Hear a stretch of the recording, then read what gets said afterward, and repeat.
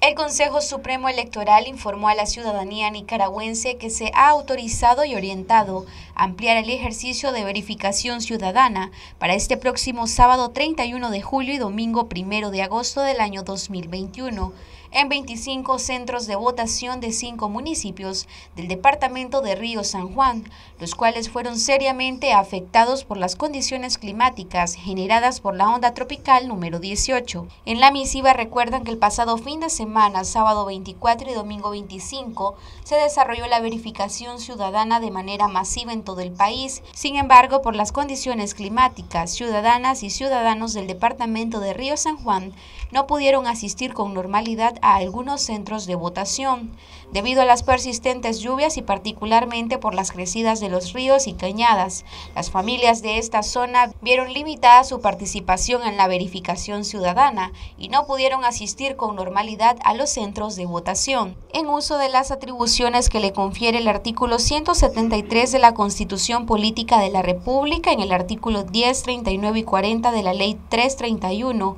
Ley Electoral, que concierne a la actualización del padrón electoral por cada centro de votación. El Consejo Supremo Electoral orienta a extender este ejercicio para este próximo sábado 31 y domingo 1 de agosto en los siguientes centros de votación. En el municipio de San Carlos, el centro de votación 523 ubicado en la escuela Poza Redonda. Asimismo, en el centro de votación 501, ubicado en la escuela La Esperanza, en el centro de votación 505, ubicado en la escuela 14 de septiembre, Comunidad de los Chiles, el centro de votación 508, ubicado en la escuela José Coronel Urtecho,